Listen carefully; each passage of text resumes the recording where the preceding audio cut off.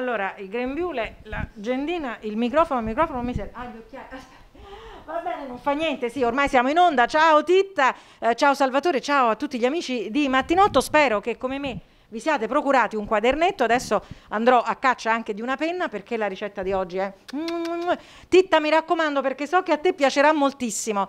Di solito noi le prepariamo a carnevale oppure alle feste dei bambini, ma guardate un po', io di chi sono ospite oggi.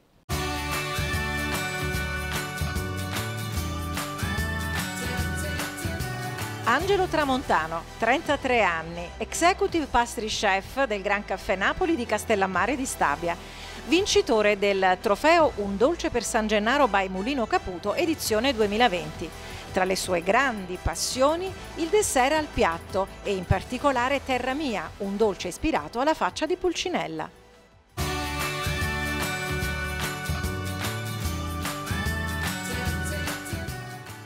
Farina? Sì. Latte? Eccovi! Allora io mi stavo portando avanti col mio taccuino e la mia pennuccia e i miei occhiali, adesso metto così, ma invece Angelo è pronto a raccontare anche a voi questa ricetta golosissima, come vi dicevo nella presentazione, oggi graffette. Senti Angelo, ma prima di cominciare, la graffetta è una cosa che in casa magari si pensa che sia eh, prettamente di carnevale, per esempio, oppure per le feste dei bambini questa è una di quelle cose meravigliose. Che si mangia tutti sempre. i giorni. Sempre. Il famoso comfort food, cioè tu Certo. voi state un po' scocciati perché È non so, il lockdown, eh, zac, la graffetta. Come si fanno le graffette? Allora, noi facciamo la, io personalmente faccio la graffetta con la farina nuvola di Molino Caputo. Mm. Perché proprio questa specifica? È proprio perché questa farina è per i lievitati, è proprio perché ho bisogno di far sì che la mia graffia sia proprio una nuvola. Bella, Quindi quando vado- lievitata ma lievitata morbida. ma morbida, Fantastico. sì. Poi Immagino che ci voglia, a questo punto se mi parli di lievito, ci voglia Certo, anche il lievito, lievito- caputo. Perfetto. lievito caputo. Le nostre amiche da casa, i nostri amici già lo conoscono perché abbiamo spiegato che è un lievito secco, quindi la comodità meravigliosa di usarlo di così a- come alla fosse sale. Esatto. Poi cos'altro abbiamo? abbiamo sale, Sì, abbiamo latte, Mhm. abbiamo uova, sì. burro. Burro, temperatura ambiente, non sempre. liquido, non sciolto. Non liquido, Ok. mai. Quando si fa la graffia mai liquido, ma Senti, a pomata. domanda, domanda terribile, ma se uno il burro dice no perché io non so, sono intollerante per esempio, ci può mettere la margarina? Può mettere anche la margherita. La margarina, vabbè. E questo che cos'è? Il tuo segreto? Abbiamo sempre, io personalmente in tutti gli impasti eh, lievi- lievitati metto sempre aroma limone o aroma arancia a seconda di quello che faccio con una bacca Con di vaniglia. una bacca di vaniglia. E qui poi, ah, ci eravamo dimenticati E ci abbiamo lo zucchero. Perfetto. Siccome questo procedimento è un po' più complicato, Certo. noi ci eravamo portati avanti. Io adesso ti prendo Certo. questa- questo meraviglioso panetto perché la. Naturalmente voi comporrete, farete la vostra Ovviamente. fontanina con gli ingredienti che state vedendo, Certo. eh, li unite uno alla volta E dovrete avere un impasto che sia di questa leggerezza, ma soprattutto ma che sia liscio e omogeneo come questo. Guardate, io penso che si veda la leggerezza, cioè al di là del- della famosa eh, ditata sopra e Certo. torna indietro, però proprio si percepisce, no? Guardate Certo. quanto è morbido e leggero, non è insomma una pasta pesante. Assolutamente, assolutamente. A questo punto A però questo che cosa punto succede? lasciamo ripo- riposare per almeno un'oretta, ok? Sì. Una volta fatto Dove lo mettiamo? Lo mettiamo in un ambiente ovviamente caldo, non nelle, nelle zone fredde, No. perché ovviamente se vi ho detto un'ora di eh, riposare un'ora, se in un ambiente freddo ci metterà sicuramente un po' di più. un po' di più. La famosa lucina accesa nel forno spento? Anche, Quello può funzionare. Oh. Ci mettiamo sopra una pellicola oppure no? Sempre pellicola a contatto, A contatto. un po' di farina, Perfetto. per far sì che non si formi la crosta. Ah, ecco, vedi, perché sennò si secca. Fantastico. Adesso Mi pareva prendiamo- di ricordare Sì. che ce l'avevamo. Ah, Sì. forse sì, l'andiamo a prendere. Ok.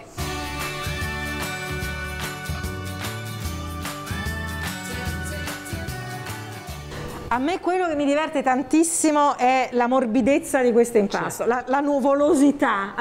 È vero. allora, questo è quello che viene fuori dopo un'ora più o meno, vi Ok. dovete regolare poi da casa. Abbiamo dato il solito consiglio eventualmente di farlo riposare la- in forno spento ma con la lucina accesa. Poi Angelo che facciamo? Lo stendiamo? Sì, no. Lo stendiamo. Ah, però semplice così, con le Sì. mani soltanto. Allora, lo possiamo sia decoppare con un Coppa pasta coppa famoso? pasta Sì. famoso, ah, ovviamente avendo una forma rotonda, quindi Che, eh, che- che poi farà venire tipo bombetta? Assolutamente. Ah, ah, ok. tipo bombetta.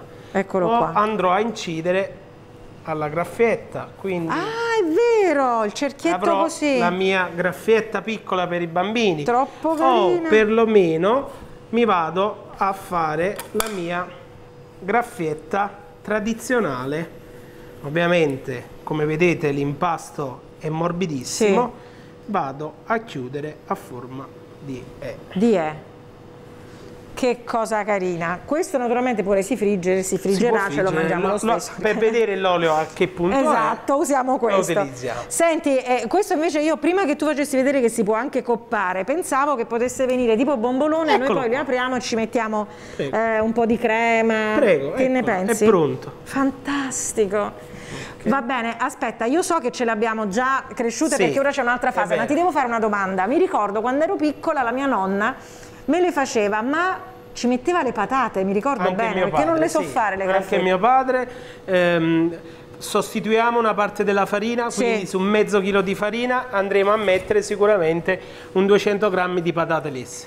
Quindi una percentuale di più o meno Ovviamente la 20%. patata deve essere fredda quando andiamo a incorporare nell'impasto perché ovviamente andiamo, non la possiamo mettere calda per non accelerare il lievito, quindi Ok. per far sì che il lievito si bruci. Quindi eventualmente le bollite prima, le fate raffreddare, voi vi fate tutto quanto l'impastino e più o meno un 20% del totale Sì, del- della sì, farina che sì, ci sì, dovete sì, mettere.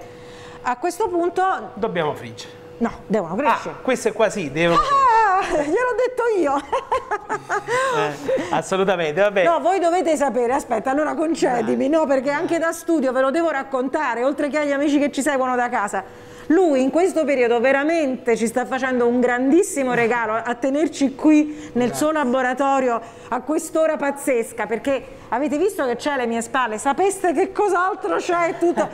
Lui è in piena produzione di panettoni perché comunque Natale è alle porte, anzi vi preannuncio che con Angelo ci ritroveremo poi più sotto Natale, ma non sveliamo ancora niente. Ok. Quindi queste cose Queste devono le crescere. poggiamo sicuramente in un eh, contenitore, E io le- mette- le... mettiamo a- sempre con la spia della, della luce del forno Sì. accesa per almeno un'altra mezz'oretta. ok? Quindi abbiamo due levitazioni e soprattutto una volta che hanno raddoppiato di volume andremo a friggere nel nostro olio caldo. Io vado a prenderle. Prego. Vado.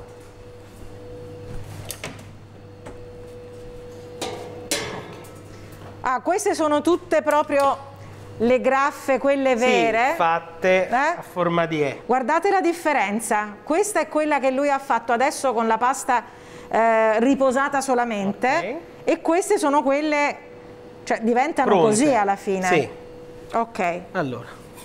Olio come sempre qui eh, tu fai Allora, metà e metà, però nostra ognuno fa, prova. ah, Sì, ovviamente io faccio metà metà, olio che il Però ognuno fa poi come meglio crede. Facciamo una prima prova con un po' di impasto, quindi l'olio già è a buon punto, Mhm. quindi possiamo iniziare a prendere le nostre graffette.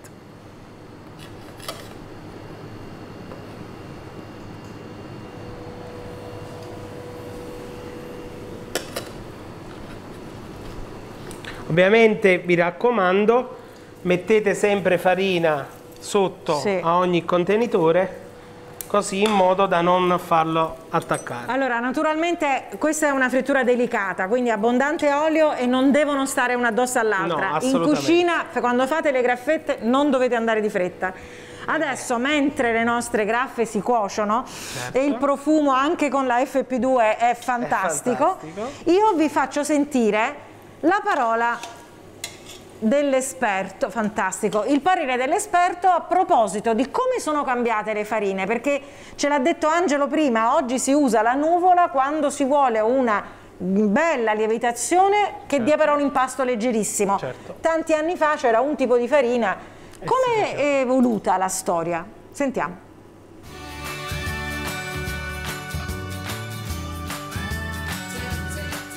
Farina è un ingrediente importante che si trova un po' in tanti piatti.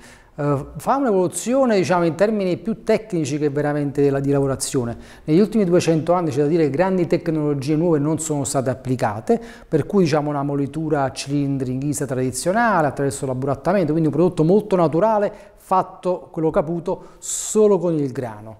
Che evoluzione ha avuto? Ha avuto che noi siamo partiti da, un, da, due prodotti base, la farina e la crusca, che sono le due componenti del chicco, uno che va per mangime animale e l'altra veniva utilizzata per impastare.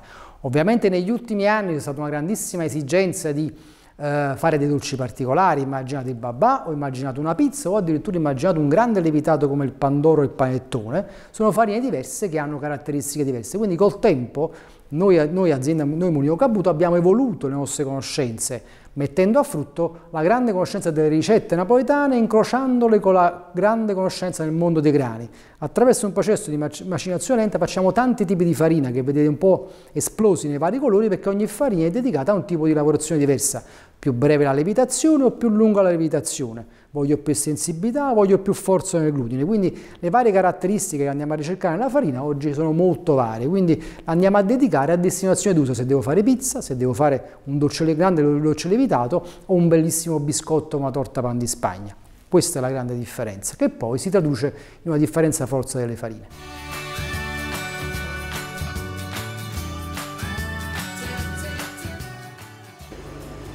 Eh, sì, eh, certo è una fase delicatissima, è una fase davvero delicata. Io purtroppo ho fatto un mezzo guaio perché l'ho toccata, va bene, non fa niente. Perdonami. Però sempre la forma di E ce l'ha. Certo. E quindi... Adesso andiamo a togliere le nostre graffette. Sì. Ok. Perfetto. E? E andiamo a, a, a immergere le nostre graffette in un zucchero e un po' di cannella. Quello che mi hai fatto preparare prima, sì. vado, vado a prenderlo, eccolo qua. Questa è una, una genialata perché poi comunque è, lo zucchero si può recuperare, lo mettete da una parte, lo mescolate con un po' di cannella, che profumo che mi ricorda di tutto e di più. Devono essere eh, messe nello zucchero appena fritte, vero? Sì, perché, perché sennò dopo non, non attacca più lo zucchero. Ok. Mmm Okay. Mamma mia che belle, che buone, che tutto. A impiattare la Così. Poi se proprio siete golosi e ci volete mettere la crema e ci volete mettere quello che volete voi, ma secondo me così sono già buone eh per beh. conto loro. Allora, tutto chiaro?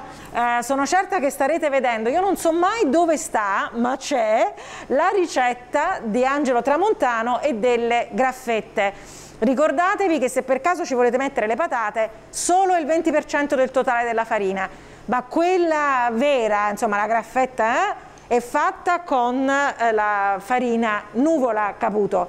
Da un pacco di farina a questa meraviglia, passando per Angelo Tramontano, che noi ritroveremo prima di Natale, assolutamente, e che ora lasciamo ai suoi meravigliosi panettoni. Allora grazie a voi studio, ciao, alla prossima! Grazie mille!